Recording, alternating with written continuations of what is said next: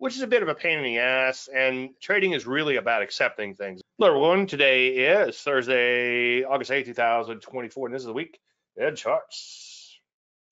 Obviously, I want to thank all you guys and girls for attending tonight. I appreciate you taking time out of your busy schedule. So, what are we talking about? Well, current market conditions. Boy, will I have a lot to say about that.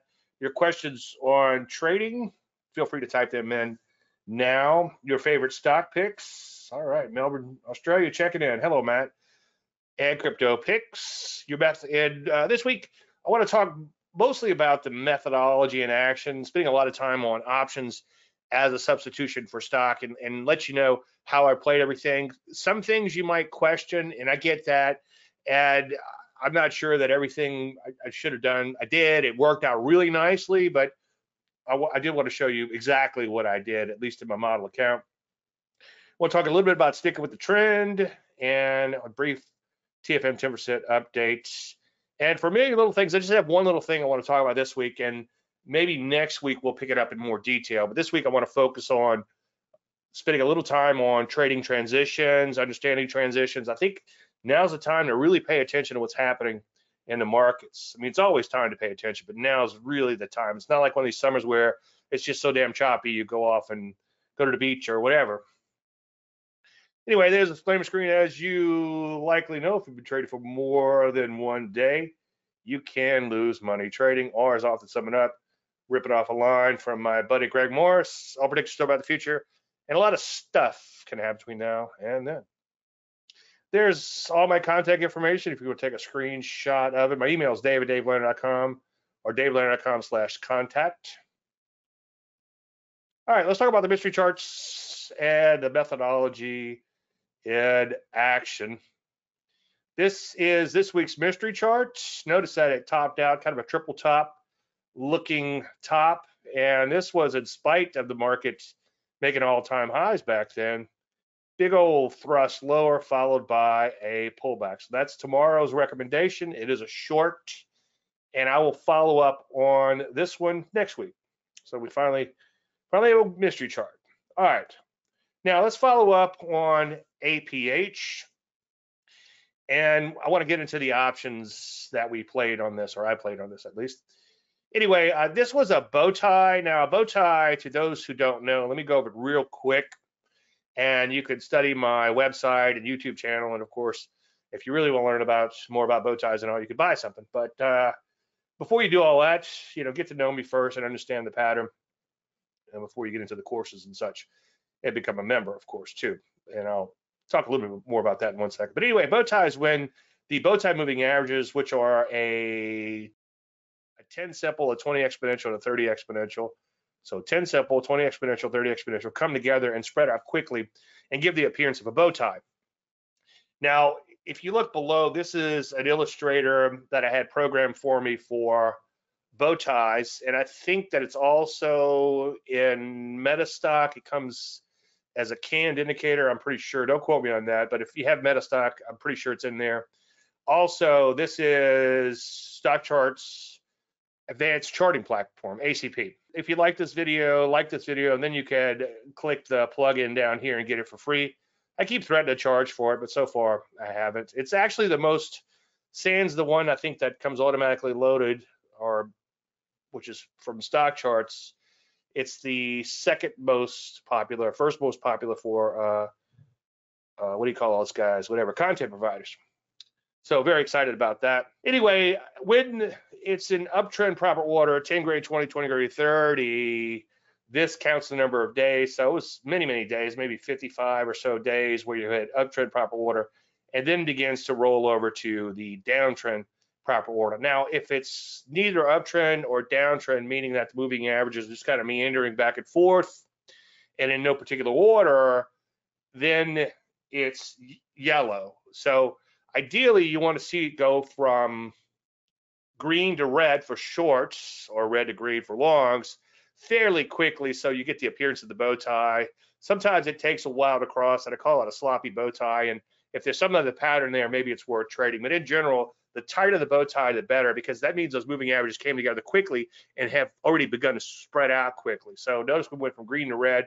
That's one of the better looking ones. A new client earlier was telling me he wants to learn more about stock selection. Well, that's stock selection is a million little things, and and I spent 14 hours in a course talking about it. But you can pick up a lot of that. Not to talk you out of a course, seem to be talking about talking you out of buying stuff, but uh, you can learn a lot from from my YouTube channel and from my website, and then of course become a member and ask me a lot of questions too, or ask other members. But you want to learn these transitional patterns and and get used to to finding them in charts and getting back to the picking the best stocks like this gentleman was looking to learn that would be one of the million little things. Look for tight bow ties when you're learning to trade these transitions. Now i'll touch upon transitions a little bit because i think it's very important in a few minutes but you want to look for the tight ones meaning that they go from green to red fairly quickly uh, three to four bars is usually my normal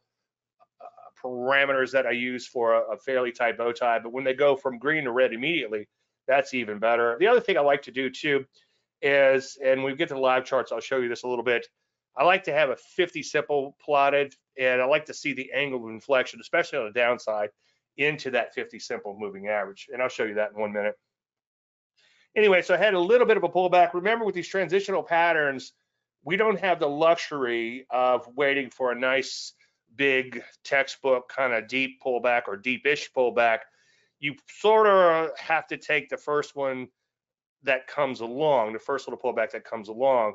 Now, in an ideal world, it would pull back more deeply. Like for instance, if it didn't have this this bar down here, which actually triggered us in, and rallied up a little bit higher, that would be an even better setup.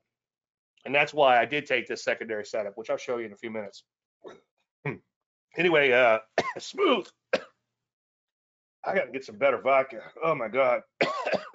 anyway, there's the screen capture from the spreadsheet. Uh, 300 shares to short at 62. IPT of 55.50. That's uh, six and a half points. Excuse me.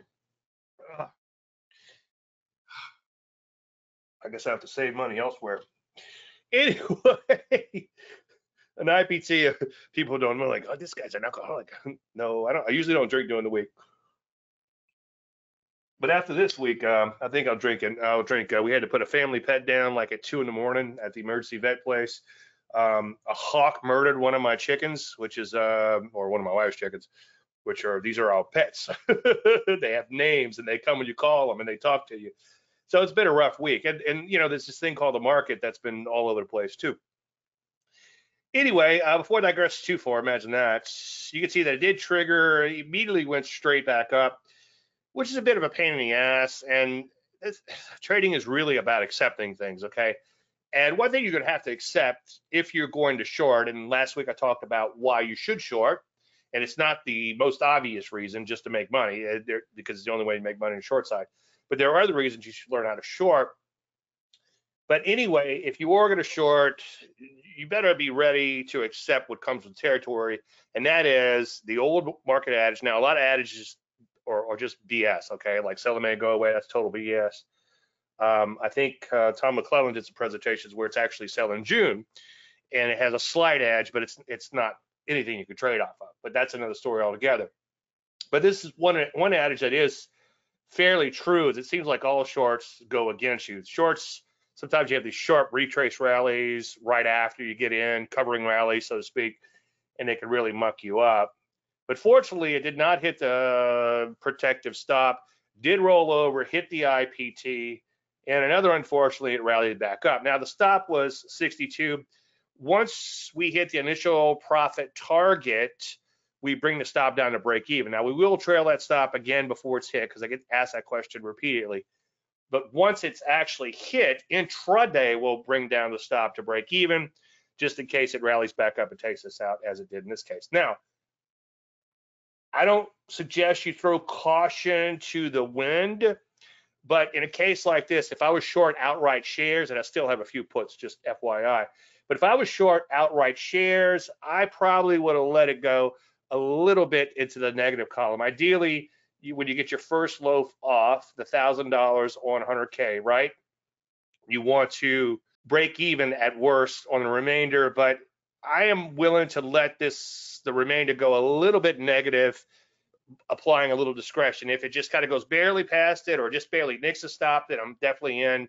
In a case like this, it went about a half a point away on a $60 stock, so it's not a huge difference. Difference. Uh, it wouldn't make that big of a difference in your account.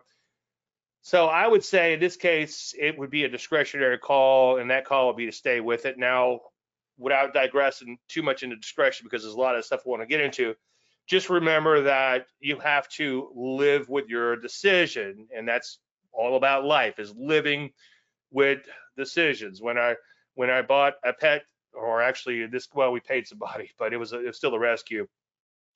That's another story. But uh, when I when I got this dog 13 years ago, because my daughter was crying for the dog, I knew it was getting deadly, like George Carlin says. Okay, all trend trades eventually end badly, and I talk about that a lot. So you just know these things are going to happen, and you're willing to accept these things. Now, as far as accepting with a discretionary trade, when you stay with the position, let's say this thing gaps up 10 points tomorrow. Well, you have to be willing to live with that. You can't have uh, regret with 100% hindsight. As a general statement, a little bit of discretion will help you do well longer term. Now, I can't guarantee you it will always work on the short term, obviously. Now, I want to talk about my thinking on on puts as a substitution for stock a little bit. And, and some of these thoughts in here are a little bit in hindsight, but these are things that I'd be that I would look for on the next trade. So if some of this looks like hindsight, I don't want you to think, oh, it's in hindsight because it is. But these are the things that I do look for in trades, and these are some of the ways that I like to play options. Now you want to use, and I put someone in here at the last moment, deep in the money puts as a substitute for stock. I don't go, it, it all depends. Sometimes I'll go fairly deep in the money, but when I'm trading options as a substitution for stock, especially as puts for a substitution for shorty, the main advantage there, as I talked about last week, instead of putting up $32,000 in margin, you're putting up like a thousand bucks, okay? And also, that's the most you could lose. Now, obviously, you don't lose a thousand bucks, but it's a lot better than putting up all that margin and then having a stock stock gap 20 points against you, whatever, the following day. Sometimes, though, if you can make it work. Now, if the underlying stock hits the initial profit targets, target, then you want to bail on half of your options, okay? Or if your options, if you're a little closer to the money and you get a two for one, you go ahead and take partial profit. So, uh, for instance, I got in my options at 350. I don't think they went to seven, but I did put in resting orders at seven just for S and Gs to see what would happen. So, as a as a general statement, not all the time, but as a general statement, I will put in on most positions, I will put in a limit order to flip out half. Now, I don't use limit orders as a general statement. Again, when I'm trading underlying securities, if I'm long something, I, I might use a trailing stop if I'm trying to squeeze out a little extra profits. I might exit at the market when IPT is hit. And rarely do I actually put in a limit order unless maybe in a case where it's kind of bouncing around a little bit. I'm not sure it's going to get to the IPT. In that case, I might put a limit in, and if it doesn't hit it, I'm ready to get out at the market. So that's um, a general statement of, of how I, I, I manage uh, the the, um, the money management. Okay. So again, and, and again, if the options go two times from where you got in, take off half, and then you free roll on that. And I'll show you that in just one second. And in the other case is, let's say you go deep in the money and you buy an option at 10, well, it's probably not going to double. But if you're, let's say at 15, you've got a 50% profit on that option, and you're either hit the IPT or near the IPT, or you're fairly close to the IPT, the move happened really quickly, then by all means lock in that 50% gain on half. And then in some cases, you want to possibly roll down. Now consider daily setups once you're in because the great thing about options is, and you got there's a lot of bad things too, but the great thing about options is you don't have a huge capital outlay. So you can go in and you can do some of these secondary trades, like let's say it sets up as an OGRe or a Russian doll, which which happened on APH and both of those setups. Then you could go in and do some options and maybe some S and G type of options Speaking of S&G type of options, don't go crazy. These are options where you're not paying a whole lot. In this case, uh, 10 and 15 dollars a contract. And like I said to my peeps a couple of weeks ago when we were talking about using some options because I recommended a short, the APH, of course. One of the things I pointed out was like, look, you could buy two options for 30 bucks. They're out of the money. They probably won't get hit. And if they expire worthless, then instead of having a ribeye on Friday night, which I like to have, I'd sous vide them and then I hit them on the grill really hot. Oh, so good. That and tiger stripe pork chops, which are the prime pork chops. They look like little tiger stripes in them. Hit me up if you need the recipes on this stuff. It's just salt and pepper, really. good stuff. But anyway, so instead of having that tiger stripe pork chop, which is just as much as a ribeye, then you just have pizza. The point I'm trying to make is if you're putting up $30 on a trade and it fails miserably, who gives a shit? Okay. And this this gentleman in my uh, group, he was a little leery about making his first options trade, and that's why I suggested doing that. Most of the time, those options are going to expire worthless. So again, you know, you have your pizza instead of your steak on your Friday for your Friday night dinner. Now, you want to keep your the, the, advantage of options is you're not putting up all that margin. And I'm going to rush through that or go through that fairly quickly in one second, uh, recap some of the stuff we did last week. But your capital outlay needs to be well below what you would risk if you're trading the underlying. Now, you, you potentially could have a bigger loss than the $2,000 per trade per 100K or 2% per trade, however big your account is, 2% of your account value, trading account technically you could have a bigger loss than that, but as a general statement, usually we could contain the losses to 2%. So if you're trading options, one advantage would be to have your risk actually less than 2%. Now it does get complicated. Like I said last week, let's say the market goes strongly against you, the options evaporate and then they expire, then you got to reset. So you could see you could get into trouble fairly quickly. I don't want to make these things look like some sort of I don't know if panacea is the word, but uh, for lack of a better word, some sort of great thing. They they do have a lot of of issues with them. Tread lightly. Again, maybe do the pizza versus ribeye trade for a while until you get your feet wet. But anyway, like I said last week, so if you were to short 300 shares of the stock, it was round numbers $19,000 and three options came to $1,000. That's $1,000 cash that comes out of your account, but that's also $1,000 max risk. So you're at about half of your normal risk doing this trade. However, again, time is against you with options, okay? And like I said last week, you always think you put an options position, you're like, oh man, I've got unlimited time. Before you know it, you're you got an expiration staring you in the face. But anyway, you could see I bought the three options, and then I got to think, it's like, well, Dave, how am I going to show in this model account that to take profits on? You can't take profits on one and a half option. So I added an extra option, and I'll walk you through all the option trades here in one second. Now, here's the thing in the underlying there was a $1,500 loss overnight. And, and believe me, that's kind of hard to stomach. It's like, oh man, I just got in this trade. I'm already down $1,500. Well, it comes with the territory, okay? And it's something that you have to, again, accept. Yes, I drop F bombs, I cuss and I fuss, but it's like, well, you know what? What am I supposed to do? This is what I'm supposed to do. So this is what I'm going to do. Now, in the options, I didn't check the price on them, but I'm pretty sure they they didn't completely evaporate, but I'd be willing to bet I probably had an $800 loss or something like that overnight. But it didn't hit the stop. Now, here are all the trades I ended up making. And I realized I went a little crazy, and hopefully you'll see some of the method to my madness as I go through this. So again, just to remind you, that was the original trade parameters, okay? 300 shares, round numbers, 6.5 protective stop. So here are all the initial trades I put on. Now, as these options worked out, I ended up putting on more and more trades as I took trades off. And I'll walk you through that in just one second. But you can see, even with all of my initial buying before I began to start flipping these options out, my risk in the model account came to $1,600, which is nothing to sneeze at, but I'm still below that 2% number, okay, if stopped out.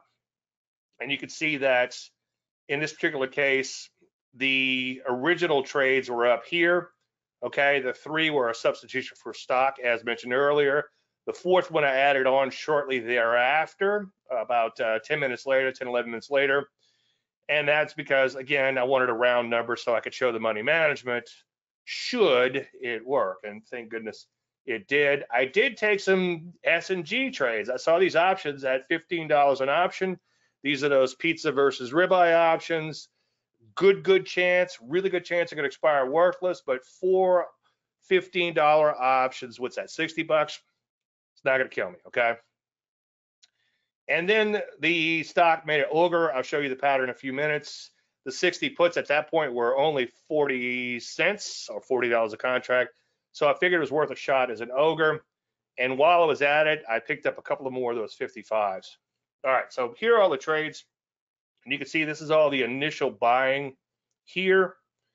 And as these puts, like last week I showed you, these were bought at 40 and I flipped them out at 80. And I'll show you a spreadsheet in just one second. The stupid spreadsheet took me like four hours to put together. It's like, good Lord. Anyway, this was the original transaction down here to substitute for stock. Again, four options total. And then this is how they played out, knock on wood. So about uh, $500, $800, about $1,100 or so in profits. And that's all, that's completely cashed out. Now, here are all the S&G options. And if you add all of that trading up, and keep in mind that on some of the trades, I was already profitable in other options, okay? And so uh, I know you can't get a little bit pregnant, but I was kind of uh, feeling flush, okay? And I ended up putting on a few more of these options. But if you add all that up, I think it's only like $150 total. So it's not going to kill me. And and yes, there's a really good chance that these things these things can evaporate quickly or it or expire worthless. And they might expire worthless. Okay, it looks like they it doesn't look too good right now. But what I do is I take profits on them and I flip them out. And you could see if you add all this up, the initial price was a was the average price was like about 11 or 12 cents. So not quite a triple, but close to a triple. So it's a one to three free roll. So I made three times my money on these options as I flipped them out.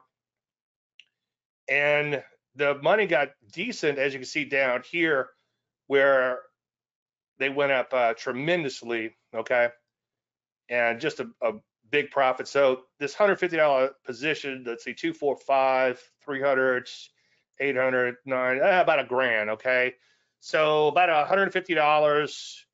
And believe me, you can't do this every day, all day. It just worked out really nicely, turned into an extra thousand dollars. And I still have a couple of these on just for S&Gs because remember, the initial position, I guess I should have kept three on, but the initial position was a short 300 shares. But as this thing was really moving in my favor and all these trades were working, I was busy just rolling down and buying more and flipping them out at, at profits.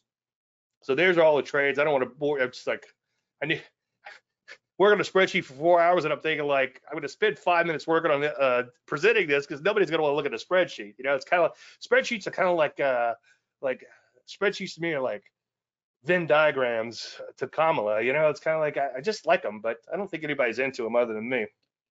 I know you want to party with me. So initially, this is where I bought the in the money puts, and of course we got whacked overnight. Now, it's been said if you can keep your head while everybody's losing theirs, you obviously don't know what's going on. but in trading, especially if you're in options, you know, I'm thinking, oh, this sucks. Okay but I knew I didn't have much more money to lose, okay, because the option was was mostly evaporated, those three in the money puts. And then I see this opening gap reversal, and I'm thinking that this stock is still in trouble. I'm not going to get that excited because this market has gone against me. In fact, I think it's actually an opportunity. Now, don't throw caution to the wind and start averaging down, so to speak, in stocks. That's a bad that's a bad thing to do, and that's one of the one of my concerns tonight was showing you this because you're like, well, Dave, you averaged down. Yeah, I sort of did. Okay. But I had an opening gap reversal and then the stock was sort of set up as a as a Russian doll, meaning a pattern within a pattern. It still looked like it was in a lot of trouble. Okay. Okay. Any questions on all that? I know I kind of zipped through it.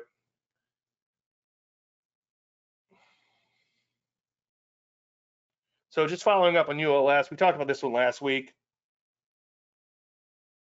It was a accelerating momentum strategy, first deep pullback in an IPO, first deep retracement. Also was nice and persistent. And those were the parameters for the buy. Entry there, stop way down here, IPT way up here. And just a follow up from last week. This is what happened last week. And let's see, we've got a newer chart in here. IPT was here, and again, at the IPT, your stop comes to break even. You will trail it a little bit along the way, and then you continue to trail as it moves in your favor. So that was the open profits based on the close I screen captured last week on those 400 shares, a 200 remainder. And in this particular case, I don't remember exactly why. I think I applied a little discretion, might have gotten out a little earlier, or was trying to squeeze a little more profit out of it. But whatever the case may be, I didn't quite make that full $1,000 in the first low. So there it is. I just want to follow up on the remainder of it. So we continue to trail a stop on this. And then we did peak out last week so far, but we're not too far away from that peak. This stock still looks pretty good. And it's really defied gravity in spite of everything going on. I don't want to confuse the issue with facts and see what they do or whatever, because that might get me thinking that maybe it'll continue to defy gravity. But as a trend following moron, I'm just going to continue to follow along with this thing. All right, brief update on the TFM 10% system. So I talked about it last week. So the sell would be here, okay, at 40, 49.32, I believe would be that number. Now, as long as we can stay above the 50 simple, okay, and while we're hoping for stuff, as long as we stay above the 10% line, that would be great. This line is 10% of the 50 week closing high, minus 10%, okay? So green is within 5% of the 50 week closing high. Five, uh, the pink or whatever that is, light pink is greater than 5% away from the 50 week closing high. And then 10% would be 10% or more away from the 50 week closing high. The bottom of this line here is 10%. And Jeff, who's normally with us on Thursdays, he's here tonight. He pointed out that the 5% line is where he likes to get out of markets and he's going to get whipsawed a little more than at 10%, but he's also going to get out early. So right here, this would have been a whipsaw for him, 5% drop. Turns out it was only a pullback. This one here didn't quite close below 5%, but so far that would have been a good place to get out. And of course, we bounced back a little today. How crazy was today? It's like I'm looking at the charts. It's like S&P up, uh, futures up 120 or whatever and it's an inside day. I mean, that's a, that's the biggest inside day I ever remember. I know I'm a nerd. and you want to party with me, right? Anyway, so the sell's still way down there, and and the reason I like to show this every week is to show you the forest for the trees. I am very concerned about this market, and I'll flesh out some of those concerns in a few minutes, especially when we get to the live charts. However, if you're following this longer term system so far, it looks okay. Let's say you were hand testing this, you wouldn't even notice this, this three little three little weeks down or four little weeks down. It's like, eh, nothing to worry about, right? But when you're actually in it, uh, you can feel it. Those are the rules. You can find them on my um, YouTube channel, on my website, davelandry.com. And the buys are a little bit more stringent, as I often say. You need two bars of Landry Light, lows greater than that 50 week moving average. So that was our last buy there the Nasdaq triggered and didn't stop out. It came dangerously close to Nasdaq Qs, I should say. And as I've said quite a bit, and I've showed the actual trade not that long ago, but I bought three, I bought 100, I wish I had 300 shares. I bought 100 shares at 319.49. And lately I've been showing you how steep that drawdown is on this system. And today it came back, uh, was at 14 points or so today. It was something crazy. It's like only 100 shares, those are starting to be significant swings. $1,400 in one day is nothing to sneeze at, right?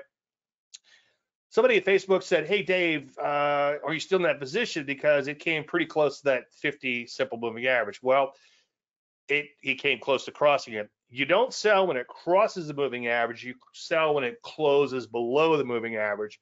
And one of the things that's a little scary is it is based on a calendar week and not a rolling week. Okay, so it's based on where the market closes on Friday.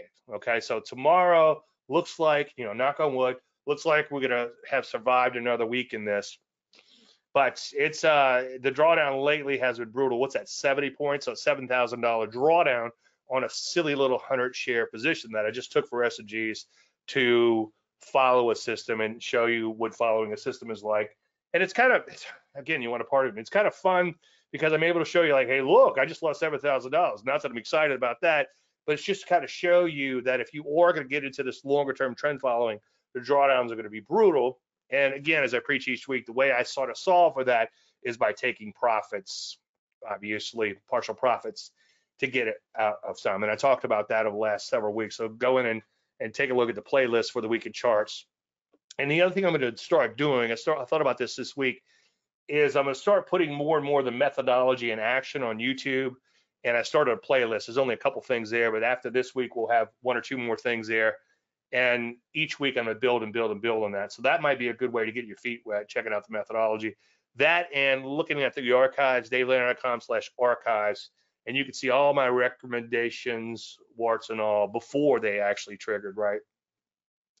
Anyway, so it did come fairly close to the stop, but it did not close below the 50 simple and the 10% line, okay? But we did trade below 10%. See the bottom, the top of this hot pink is 10%. So we came really close to that last week. And this week, we'll see where we end up tomorrow. We could actually close below 10%, and it wouldn't be a sell signal until it closes below the 50 simple.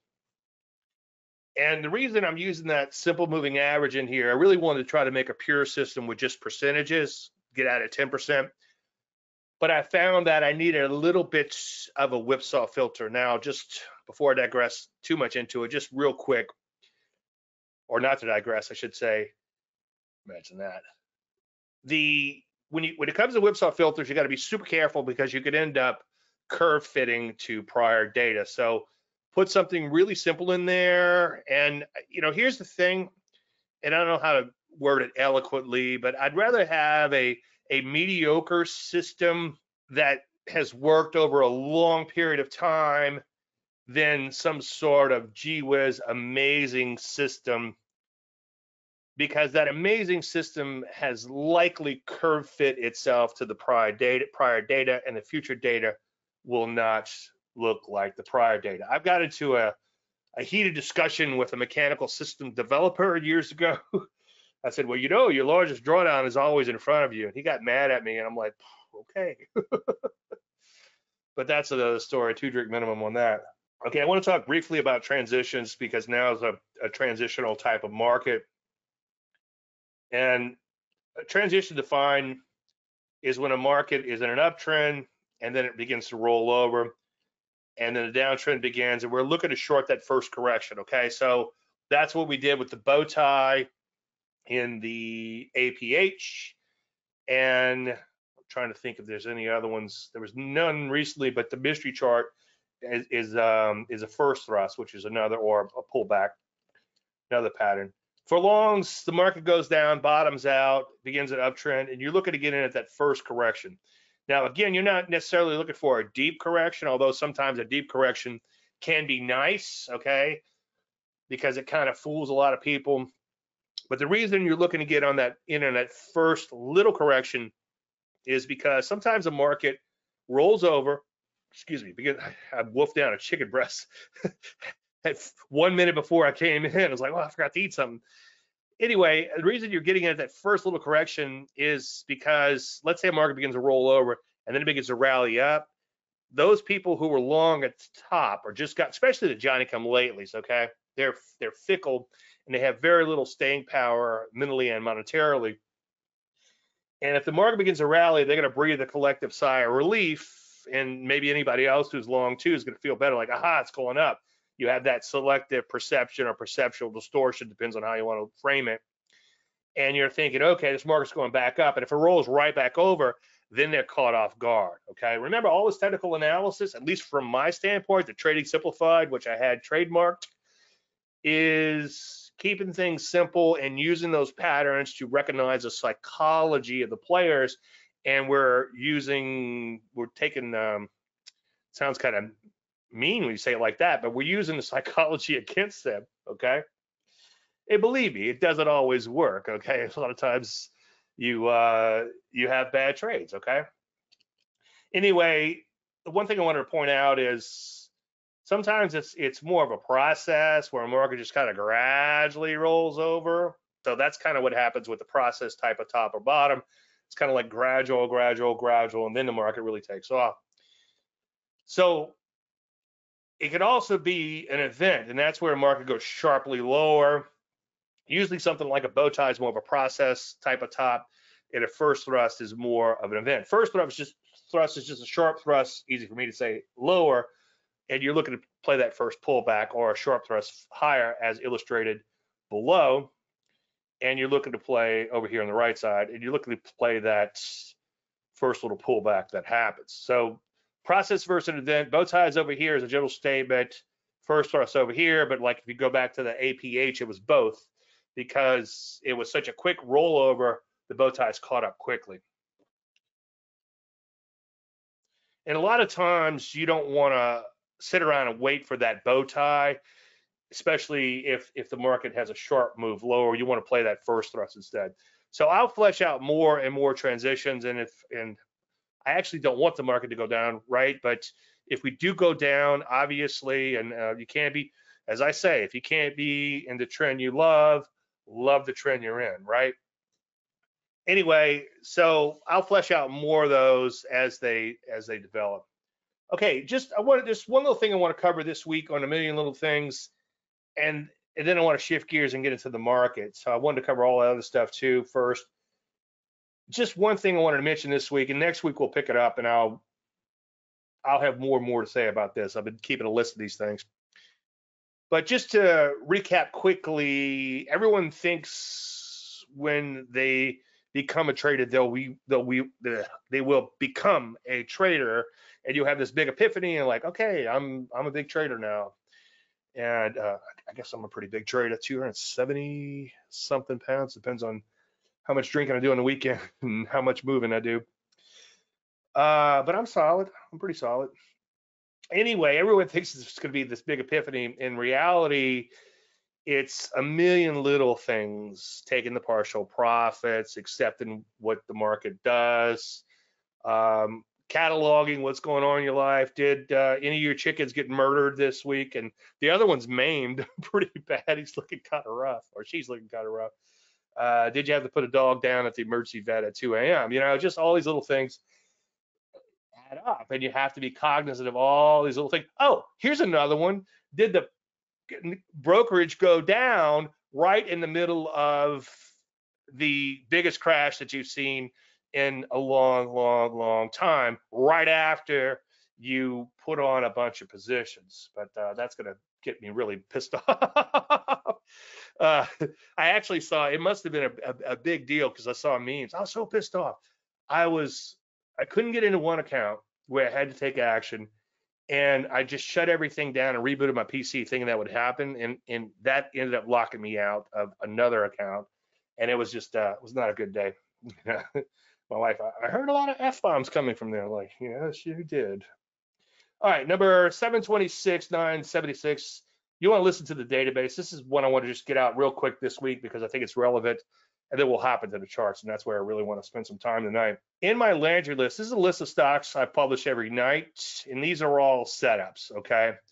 And I'll pick one or two, or like if in, in fantastic markets, I might pick more than two that I want to trade, and I'll show them to you, and I'll give you the parameters. This is all part of my trading service, davelandry.com slash trading service. If you want to see more on that, davelandry.com slash archives. If you want to see what I've recommended for years and years and years.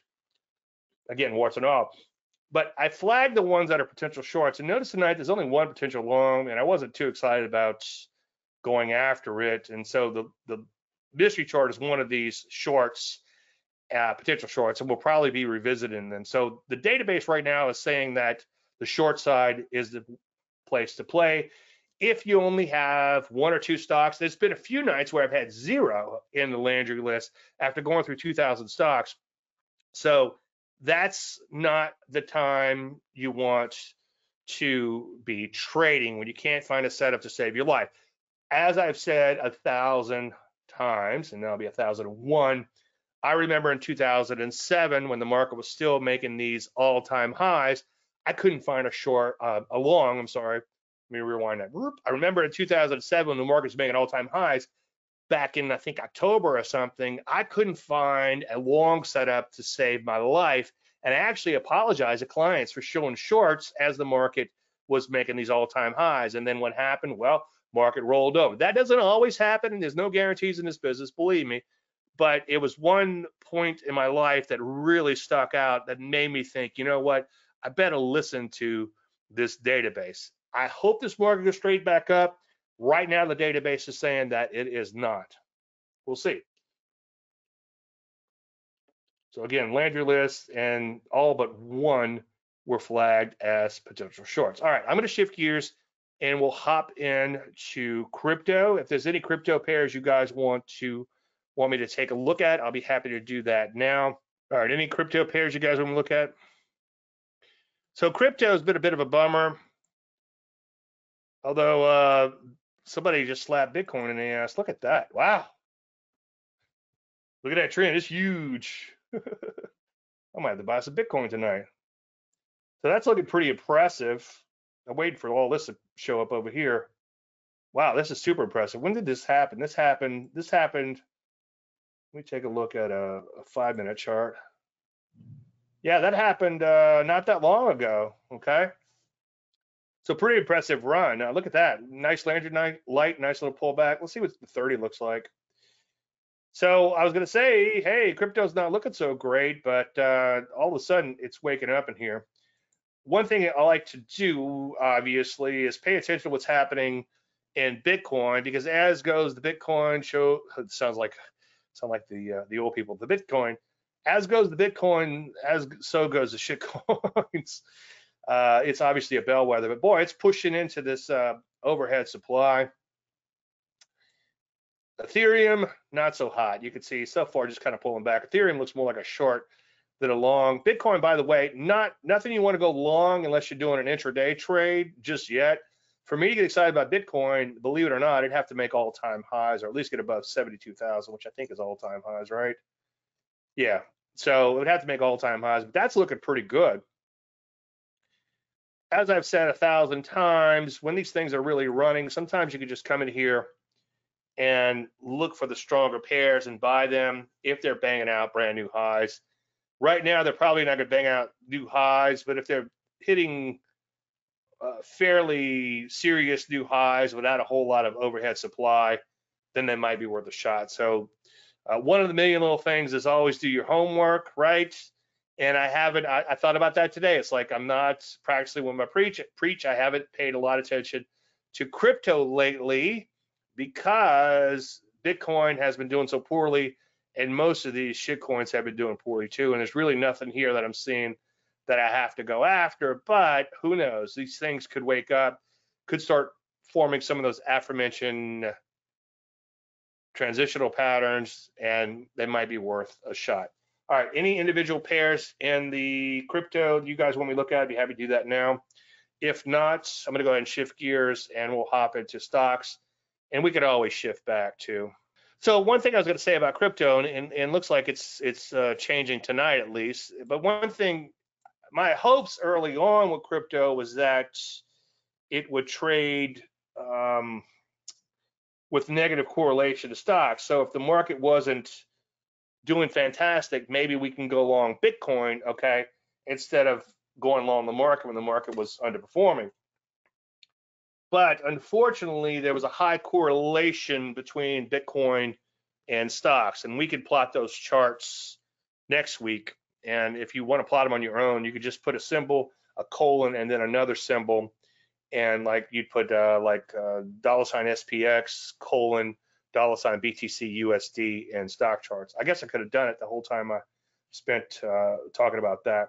All right, let's uh, let's take a look at the overall markets. And I know there's a lag on on YouTube, so uh, feel free to if you feel free to uh, ask questions, even if something that um, we may have covered a little while ago.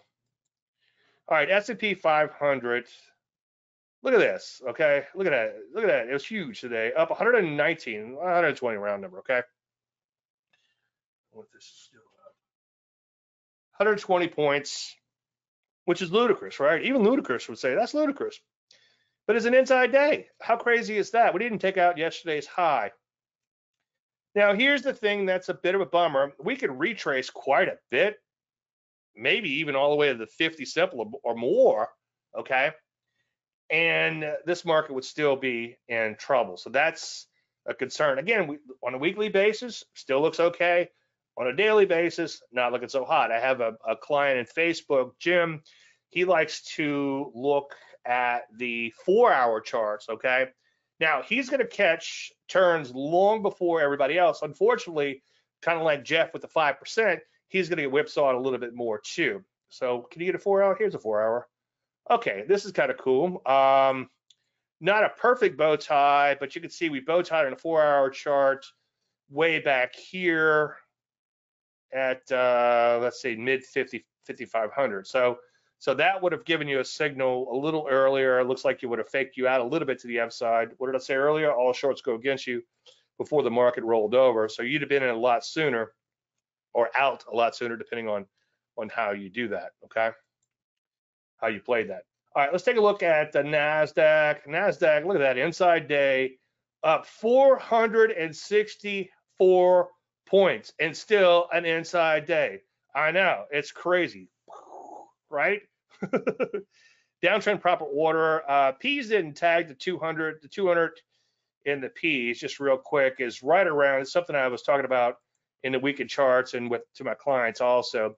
A lot of times technicals come together at the same points. The 200 moving average will often correspond with uh, support or resistance, depending on how you look at that, depending on where the market is. If it's above it, it'll be support. If it's below it, it'll be resistance, obviously. But you can see it's like right around that area. It's like the old Cajun joke about the thermos. It, it keeps the hot things hot. It keeps the cold things cold. How do we know? You know. But anyway, a lot of technicals do come together at the same point. But you can see NASDAQ composite, same sort of action there too. Support right around this area here. Where did it find support? 200-day moving average. By the way, I normally don't plot the 50 to 200 because I feel like they only matter when they matter. Okay, I pay attention to the 30 EMA mostly.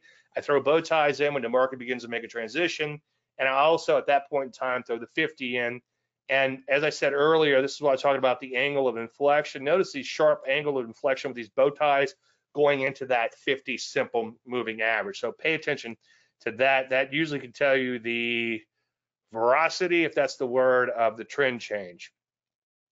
NASDAQ's going to have its work cut out for it. Like the P's, it could go up a long, long, long, long, long, long ways and still be in trouble. I was explaining to somebody in the gym, uh, and it's an adage I got from Linda Raschke. I asked her about it. She said she probably picked it up on the floor. It's a floorism, is what she said. But the market will do what it has to do to frustrate the most amount of people and cause the most pain. Okay. So if the market is going to sell off, okay, and it looks like it's going to sell off, what's going to do first? Okay. It'll always, the other corollary to that is the market will do the obvious in an unobvious manner. So if it looks like we're headed lower, what's going to happen first? The market's going to have a big up thrust first. Okay. And that upthrust is going to make all the people who bought late, because you know I'm kind of a man on the street kind of guy now, and I well I've always been, but now that I'm getting out, I'm getting more feedback from people, and a lot of people like, is it too late to get in? It's too late to get in. So so that made me realize you got Johnny Come Latelys out there. A lot of people like, how about that Nvidia? It's like when the man on the street starts telling you about an individual stock, it's probably done. Okay, stick a fork in it. But anyway, so all these people, I can tell just from the feeling I'm getting that a lot of people bought late in the cycle and they're waiting for that rally to come back. And a lot of people tell me, well, as soon as it rallies up a little bit, I'm gonna get out. That's your technical analysis right there. So There's no guarantees, obviously, but that would cause the most amount of pain. And by the way, when you're looking at charts, always ask yourself, what's the most obvious thing this chart would likely do? And then how's what's the most unobvious way for it to do that? So a market will often do the most obvious thing in the most unobvious manner. And a market will do what it has to do, cause the most pain to the most amount of people. Those are see, that's the third adage tonight. I said is uh, true. That's that's another adage or two adages there that are true anyway, NASDAQ has its work cut out for it. By the way, if you want me to look at some individual stocks or any other markets, start punching them in now. As you go through the database, we just talked about Bitcoin, so we'll look at some other ones in here. Here's internet. You can see it's rolled over, beginning to pull back a little bit. This does not look good. Bow tie to the downside. That's uh, no bueno, as we say south of the border. Broker dealers, big first thrust down. I actually have some, or I have two setups tonight in broker dealer, which we might go after over the next few days. I'll give you a hint. They're two big brokerages, so take a look at those. Software is no bueno. You can see it's broken down in here, big fat gap down. Retrace the 200 day moving average. Having a little trouble getting through that, so that's not looking good. Rusty looked fantastic about two weeks ago, right? starts banging out these multi-year highs, but came right back in. And now anybody who bought all excited about this breakout is now losing money, and they might be looking to get out of break even. So I'm sounding a little bit bearish than I thought I was, but I'm actually pretty bearish that I'm talking about this out loud. But I'm a trend following moron. So if it goes straight back up, then I'll just start getting long again. But right now, you have to play the hand that's dealt and here's the bummer, okay? You had you had the old leaders like the mags, right? They were just kind of going straight up. The Nvidias of the world, just going straight up, like, oh, it's gonna be fantastic. Let's project this out. I'm gonna be up 200% by the end of summer or whatever, okay? And then those things just went imploded, right? Well, the good news was that banks in these boring areas, many other boring areas, insurance, uh, REITs, utilities, all started going straight back up. And then what happened? They just imploded. So it looked like we could have this massive sector rotation from momentum to value. Momentum becomes value and value becomes momentum. I can't even remember his name. John, uh, I could see his face. John Lewis from the uh, NASDAQ did uh, gave a great speech a while back on that. And uh, that's kind of an interesting thing. So all the banks you know, massive, massive sector rotation, but all that sector rotation did absolutely nothing. So it was a big uh, kind of uh, effing, for lack of a better word. all these sectors, these new sectors begin to take off, giving giving everybody hope. Like, okay, well, that's okay. I don't, I'll just buy First Bank or whatever bank, or regional bank or whatever. I'll sell my Nvidia and buy some banks. I don't care what I'm in as long as it goes up, right? At least that's my mantra. Well, they didn't go up. It, it, here's the great thing from where I stand is I didn't see a lot of setups or any worthwhile setups because the market went straight up. Remember, I play pullback, so it pulled back, but they kept pulling back, pull it back, pull it back, pull it back, pull it back. Okay, so anyway, uh, old tech or old leaders, I should say, like the semis, you know, it wasn't that long ago. When was that? Uh, just way back in July. July seems like it was a long time ago, right? Middle of July, July 11, we had all-time highs in the semis, and we pretty much imploded since then. Okay. Again, notice the angle of inflection into that 50-day simple moving average, and we've gone all the way down to 200, and now we're pulling back a little bit. So this is another ugly chart. I know, put on my Captain Obvious hat. Then give me a little Captain Obvious hat. Home builders, kind of the same theme as everything else. Like, okay, we'll play the home builders. Look at these guys acting like crazy momentum stocks going straight up. But then notice, okay, as they begin pulling back, it's like, okay, I'll start to see some setups here. But then they implode it right back down, and that's why you wait for an entry. I forgot to do it, but uh, was it two weeks ago? We had a stock on a Landry list wasn't an re uh, official recommendation, but it was set up, and then uh, it imploded overnight. But luckily, it didn't rally up and trigger in case somebody was going to take it. Anyway, Home Builders Financial, same sort of story there. They took off, off to the races, made a smart little double top and then imploded, and now they got their work cut out for them. So you kind of get the idea. That's kind of a reoccurring theme without going through any more. I think that pretty much wraps it up. So I think we're we're in trouble now. Check back often. Watch the market a minute every day. It's like people come up to me every day in the gym. I'm kind of like thinking to myself, like, if only there was a one minute video you can watch and I would tell you everything that I'm getting ready to tell you. but I don't know. People would rather be uh, spoon fed stuff, which is fine, I guess. All right. Uh, any stocks you guys want to talk about? Quite a bunch. I know it's mostly shorts. Likely, I can't imagine anybody would have any longs that would be worth looking at, but uh, stranger things have happened.